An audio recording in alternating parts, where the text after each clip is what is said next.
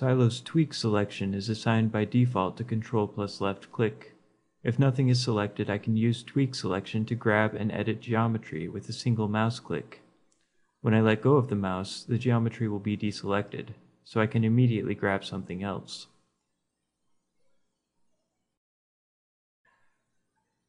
Tweak works in all selection modes, including multi-selection mode. This means I can quickly grab faces, edges, and vertices without changing modes.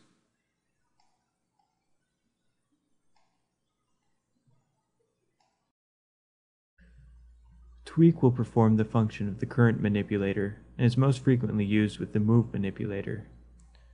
If something is already selected, I can use tweak anywhere on the screen to edit that geometry with the current manipulator.